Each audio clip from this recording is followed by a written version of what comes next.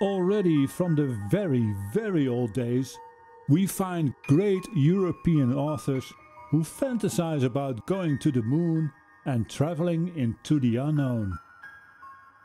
Now, we consider Jules Verne and H.G. Wells as founders of the modern sci-fi genre.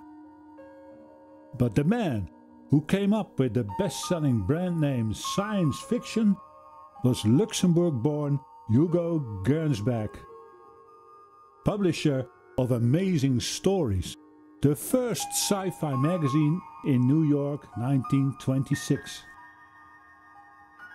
Watch the old pictures and realize how perfectly Hugo's brand name covers the content. Then and now.